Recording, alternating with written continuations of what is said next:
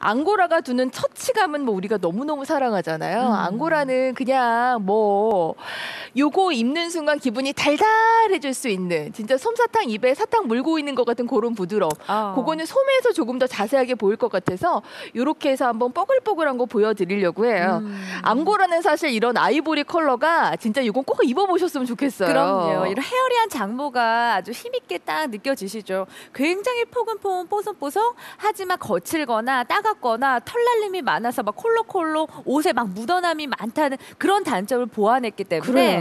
입기가 참 좋으실 겁니다. 정말 네. 부드러워 보이죠. 어머 음. 손에 닿는 터치감이 기가 막혀요. 네. 지금 보시는 아이보리 컬러 드리고요. 음. 블랙 느낌에서 한번 보여드릴 건 털 빠짐 얘기하셨는데 음. 보통 우리가 앙고라 고르면 맞아요. 아니 부드럽고 입었을 때 음. 소녀스러운 거 너무 좋은데 털 빠짐이 너무 많았어 하시는 분들 네. 앙고라가요 지금 최적의 블렌딩 작업을 거쳐서 음. 저희 방송할 때마다 왜 그렇게 매진을 많이 하고 직전 방송에 10분 남겨놓고 주요 사이즈들이 막 매진이 됐냐면 어. 털 날림, 털 빠짐을 얘는 잡아냈어요. 맞아요. 최적의 음. 배합률을 잡아내서 얘가 지금요 털 빠짐 덜하죠 이 앙고라의 뽀송뽀송하고 부드러운 느낌 다 가지고 있죠 네. 신축성 다 보이죠 돌아오는 힘도 너무 좋습니다. 깨끗하게 늘어나거나 수축되는 거 걱정 안 하시고요. 그쵸. 매번 매해 깨끗하게 입어볼 수가 있고 네. 그래서 오늘 사이즈 9구까지 준비해드렸는데 음. 아주 편안하게 맞으실 거예요. 저는 펄로 이렇게 연출을 해봤어요. 이제 곧 다가오는 크리스마스를 좀 준비하시면서 연말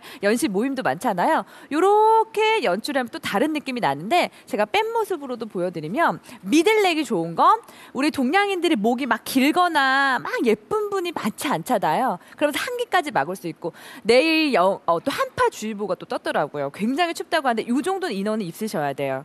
컬러 감상해 보세요. 앙상블에 이런 원사가 만나니까 이런 아우라가 나오는 거 길이 조정도 확실하니까 저런 스커트에 입었을 때도 어색하지 않습니다.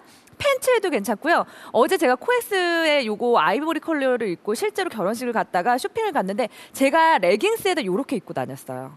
저 보신 분들이라면 음. 아, 뭐 기억하시는 분들이라면 제가 진짜 이러고 다녔어요.